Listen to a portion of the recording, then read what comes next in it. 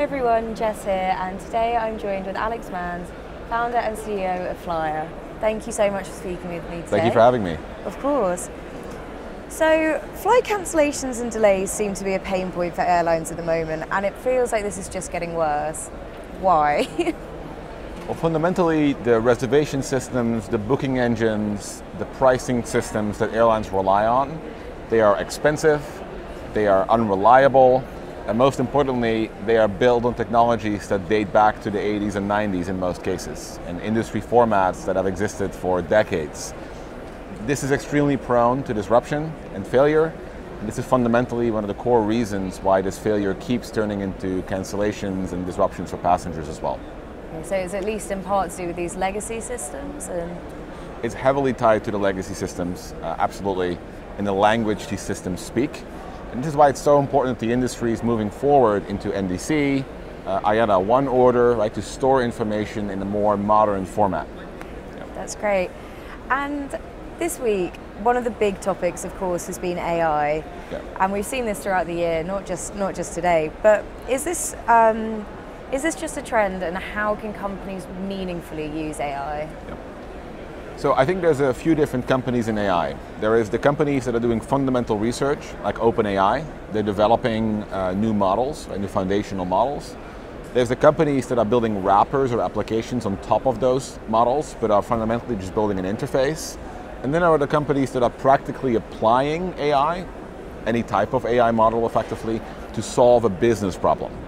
I think the, um, the latter is really where the future is, and that's a persistent type of company. Like FLYR is one of those companies, right? How do we help improve pricing? How do we more accurately forecast the future?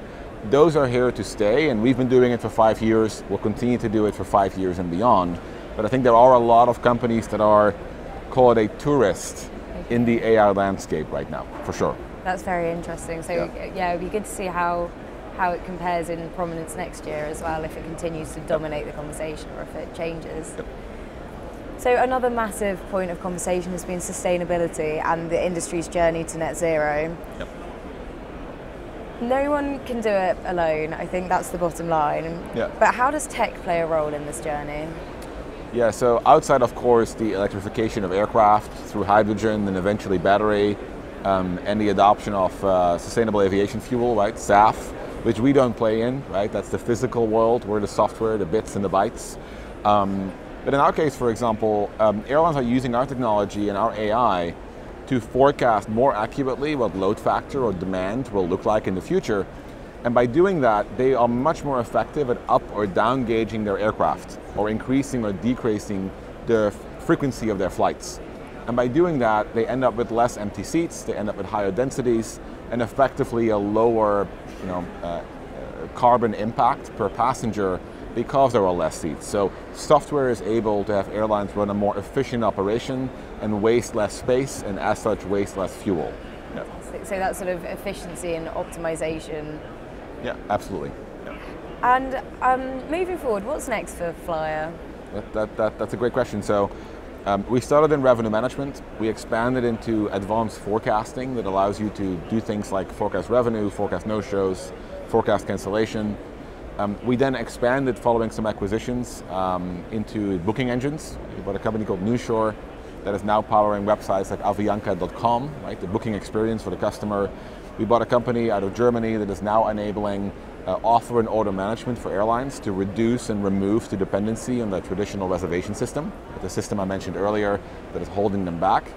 Um, we have fully integrated those companies, uh, and now we are looking for deeper partnerships with the ecosystem that is you know, departure control systems, accounting systems, ERP solutions, upgrade solutions, uh, because I strongly believe that the future of airline technology is built around open standards by which we can communicate together and a modular approach where the airline has the ability to buy one solution from one company, another solution from another, instead of being forced to buy everything from one vendor.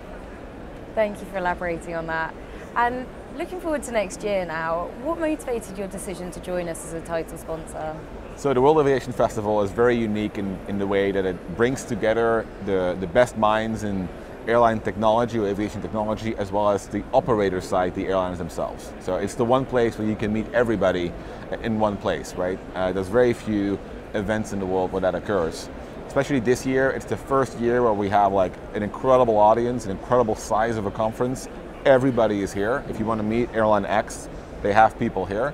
So you're unique in that way, and you know we couldn't resist to uh, to, to sponsor and support the event, um, give the opportunity for our customers to also present what they're doing with us, um, and give them a, a stage effectively, uh, as much as we have a stage for ourselves.